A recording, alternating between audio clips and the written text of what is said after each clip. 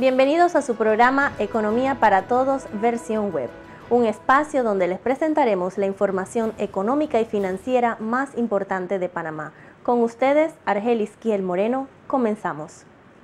El Consejo de Gabinete aprobó un aumento de 20 dólares mensuales para los adultos mayores que se benefician del programa de 100 para los 70. Sobre este tema, el público opinó. Eh, me parece que es una mm, política adecuada, hay muchos jubilados que, que reciben mucho menos y yo creo que es muy buena decisión.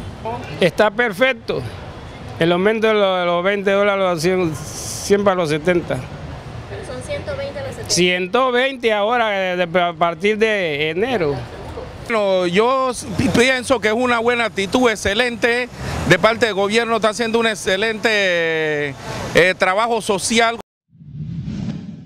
En la teleconferencia de relaciones con los inversionistas, las autoridades del Ministerio de Economía y Finanzas informaron que esperan que el crecimiento de la economía de Panamá sea el segundo más alto de Latinoamérica con 8.5% para el cierre del 2013. La ley que modifica el interés preferencial para préstamos de viviendas valoradas entre 40 a 80 mil dólares fue aprobada en primer debate por la Asamblea Nacional. El proyecto consiste en ampliar el tramo medio del interés preferencial eh, para, que, para que personas en el, de clase media tengan acceso al mismo.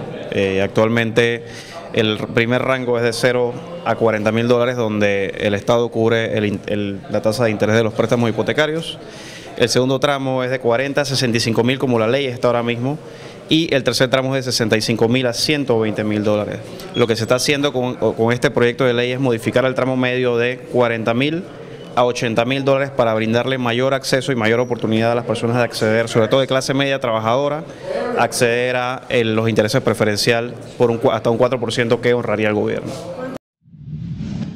El gobierno nacional brindará la oportunidad a los contribuyentes de sanear sus deudas con el fisco al haber cometido errores en las declaraciones de renta a través de una regularización tributaria hasta el periodo fiscal 2011.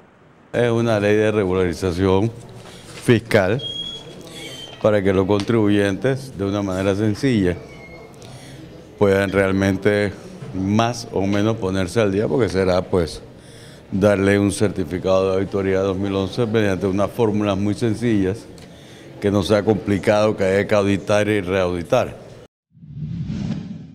Pronto un proyecto de ley permitirá a Panamá participar como país centroamericano de los beneficios del Tratado de Libre Comercio entre los estados de la Asociación Europea, lo que será de apoyo para las empresas panameñas.